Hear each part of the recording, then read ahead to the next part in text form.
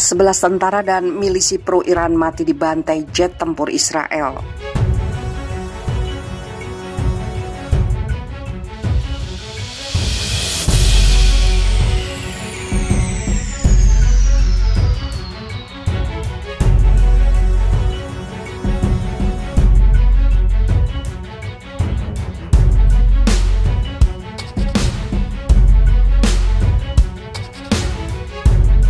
Sebuah serangan dahsyat dilancarkan jet-jet tempur F-35 Lightning II milik Angkatan Udara Israel ke sejumlah kota di Suriah sejak Selasa 9 Juni 2021.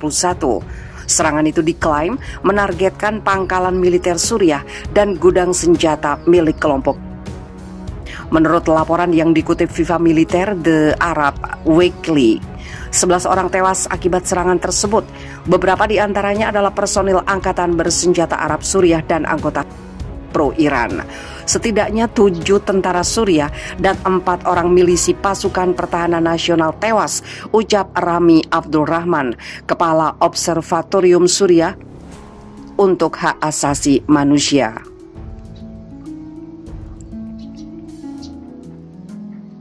Tercatat Angkatan Udara Israel membombardir empat wilayah di Suriah, yakni ibu kota Damaskus, Provinsi Homs, Hama, dan Latakia. Aksi ini adalah yang pertama dilakukan militer Israel pasca serangan 11 hari terhadap sejumlah titik pejuang milisi Palestina di Gaza.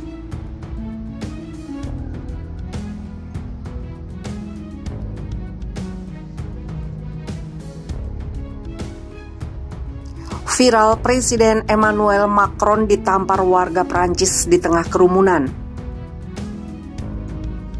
Presiden Perancis Emmanuel Macron ditampar oleh seorang pria di tengah kerumunan pada Selasa 8 Juni. Insiden tersebut terjadi saat Macron sedang melakukan tur nasional di Tan in Hermintic di luar kota Valensdrom, Perancis. Video detik-detik Macron ditampar oleh seorang warga ini beredar luas di media sosial. Dalam video tersebut tampak Macron baru turun dari mobilnya dan langsung berjalan menghampiri sejumlah warga yang berdiri menunggunya. Warga tampak berkerumun menunggu kedatangan Macron dengan dibatasi menggunakan menggunakan pagar pembatas. Saat Macron menghampiri salah seorang warga dan meraih tangannya untuk bersalaman, warga itu langsung melayangkan tamparan keras ke wajah Macron. Warga itu sempat berteriak Albasla Macroni, ganyang Macroni yang sebelum pukulan di wajah Macron. Ia juga terdengar meneriakan Monjui Saint Denis atau seruan perang tentara Perancis saat negara itu masih monarki. Sontak pengawal keamanan di sekitar Macron langsung menarik Macron menjauhi pria tersebut. Beberapa petugas juga langsung bergerak cepat mengamankan pria yang telah nekat menampar Macron di depan umum tersebut. Dialih bahasakan dari Reuters, wali kota setempat Xavier Angeli mendesak agar keamanan untuk Macron ditingkatkan untuk mengantisipasi kejadian serupa terulang kembali. Polisi telah mengamankan dua orang warga atas insiden penamparan terhadap orang nomor satu di Perancis itu. Hingga kini identitas pelaku yang menampar Macron dan motif aksinya masih ditelusuri. Setelah insiden penamparan terjadi, Macron kembali menemui warga dan berjabat tangan dengan mereka.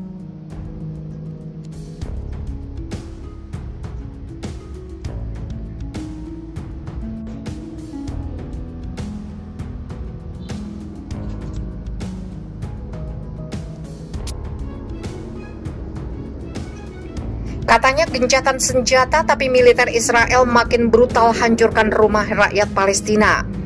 Pasukan Israel pada Senin 7 Juni menghancurkan puluhan rumah Palestina di tepi barat yang diduduki. Menurut sumber lokal, tentara Israel menghancurkan permukiman Palestina di wilayah Al-Mu'arrajat Timur Ramallah. Mereka menghancurkan rumah kami, kami tidak memiliki apa-apa selain pakaian di badan kami, ujar Edward Al-Kapni, salah satu warga Palestina yang rumahnya dihancurkan kepada Anadolu Agency.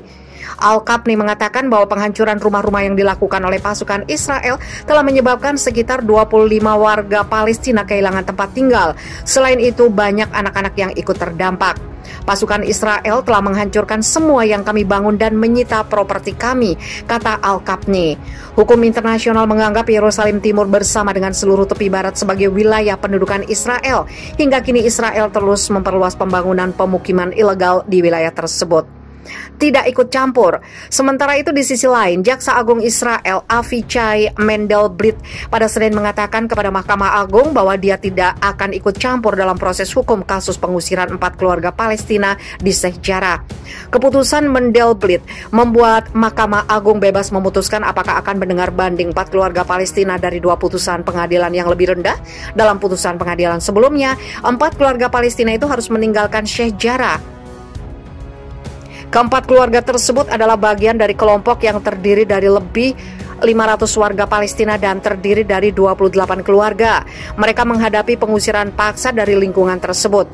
Menurut harian Israel, Haaretz, Sumber yang dekat dengan Mendelblit mengatakan para pemimpin Israel mendukung keputusannya agar tidak berdebat di pengadilan atas nama negara. Sementara Semi Irset, pengacara yang menjadi bagian dari tim pembela warga sejarah mengatakan kepada Al Jazeera bahwa keputusan Mendelblit membuat kasus pengusiran ini tidak lagi bermuatan politis, tetapi kami tidak akan mundur untuk memperdebatkan perkara ini dari aspek hukum internasional, kata Irset.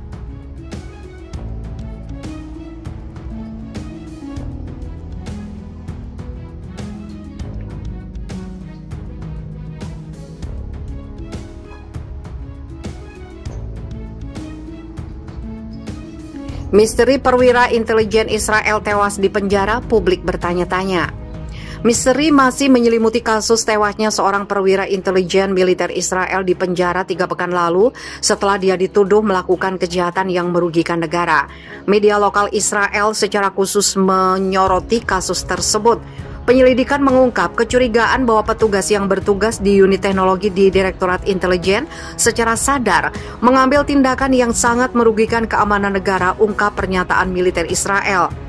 Haaretz melaporkan militer menyatakan petugas bekerja sama selama penyelidikan dan mengakui banyak perbuatan yang dikaitkan dengan dia. Informasi tentang kasus itu terungkap setelah militer mengurangi perintah pembungkaman yang lengkap Meski demikian, menurut Times of Israel, rincian penting tentang kasus itu termasuk identitas perwira dan sifat pasti dari dugaan kejahatannya tetap dilarang dipublikasikan.